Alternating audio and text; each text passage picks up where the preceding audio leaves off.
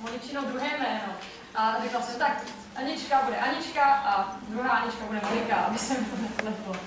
Takže poprosím, aby si přišla do svého písničku, řekneš nám, co zaspívá. Já vám zaspívám píseň Pedlou od Moniky Bagárový z pohádky Čertová nevěsta.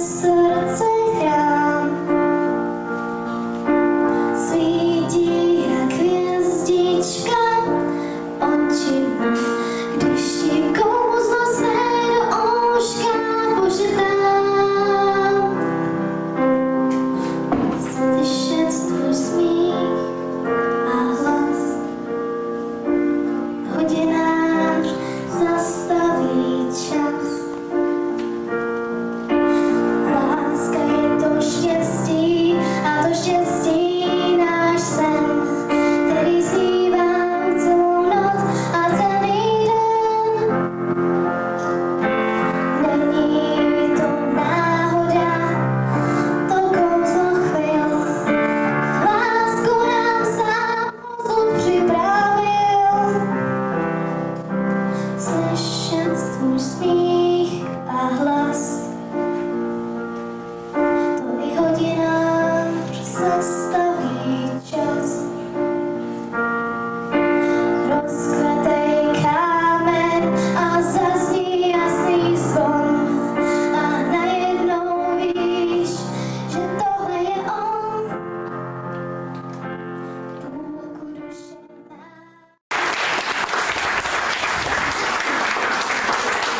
Bo nie wysypał ścierką okna przez